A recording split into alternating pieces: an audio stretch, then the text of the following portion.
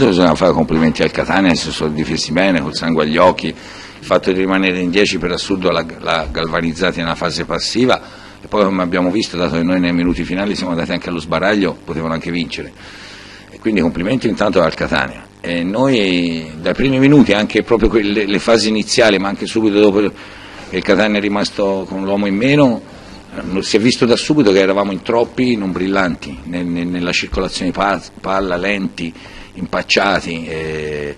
e domani ne parleremo. Sì, poi è vero che quando è la partita che non ti va niente bene, cioè ce ne sono stati tanti presupposti, al di là delle due o tre palle, due o tre contropiedi lasciati al Catania inopinatamente, proprio ci siamo buttati allo sbaraglio, siamo rimasti due contro due,